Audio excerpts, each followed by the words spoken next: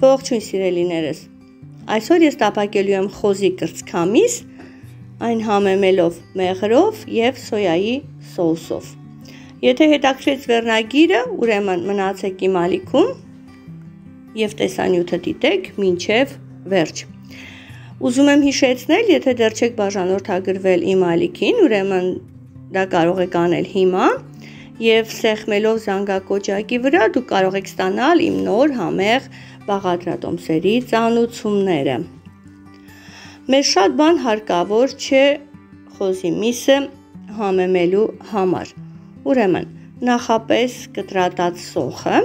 ես հիմա կլցնեմ ապակի տարայի մեջ որից հետո կավելացնեմ համեմունքները։ Կարմիր աղացած պղպեղ, սև աղացած պղպեղ, սոյայի սոուս, ձեթ եւ իհարկե մեղր։ Այս ամենը մի քիչ կխառնեմ եւ որից հետո կավելացնեմ աղը։ Նորից պետք է խառնել, որպեսզի մեղրը հալվի ապա ես այն կտարածեմ ամբողջ տարայի երկայնքով, որպիսի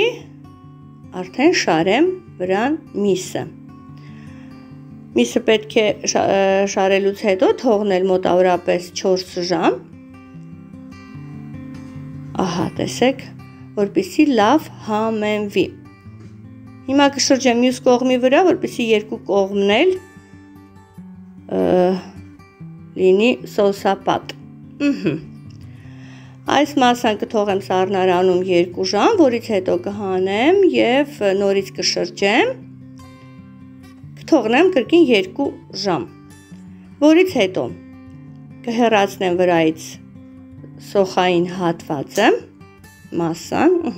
եւ թավայի մեջ մի փոքր ձեթով այն կտապակեմ, այնքան մինչև որ կարմրի արտակարգ համեղ է եւ արդեն շատ անուշ հոտ է տարածվել մեր խոհանոցում։ Ահա հիմա կշրջեմ մյուս կողմի վրա։ Եվ կթողնեմ, որ լավ եփվի։ Այնքան մինչև որ կարմրի։ Քիչ հետո նորից պետք է շրջել նույն խորովածի սկզբունքով է։ Արագ շրջենք, որպեսզի հավասար եփվի։ Ահա, մի հատ էլ կշրջեմ հիմա եւ մինչեւ վերջնական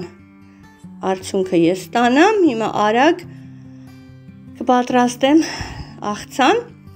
որպեսզի այն մատուցեմ այս թեթև աղցանի հետ։ Ահա ռուկոլա եւ մաշ ունեմ, մաշի հայերեն տարբերակը չգիտեմ, ներեցեք, եթե դուք գիտեք, կարող եք գրել ինձ մեկնաբանությունների բաժնում, ուրախ կլինեմ։ Ավոկադո, այն կհամեմեմ կարմիր աղացած պղպեղ, սև պղպեղ, աղ, կիտրոնի հյութ եւ ձեթ։ Ահա։